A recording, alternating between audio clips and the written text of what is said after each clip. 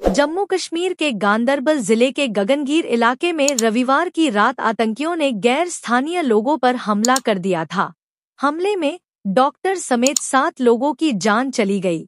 इस हमले में तीन बिहार के मजदूर भी मौत हो गई थी। सभी मजदूर केंद्र सरकार की तरफ़ से चल रहे सुरंग प्रोजेक्ट में काम कर रहे थे।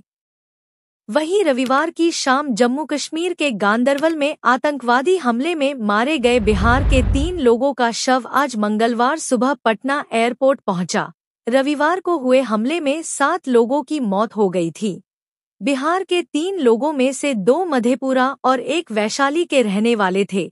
इनमें से दो वहाँ टनल में पेंटर का काम करते थे। एक प्रोजेक्ट में सेफ्टी मैनेजर के रूप में कार्यरत था।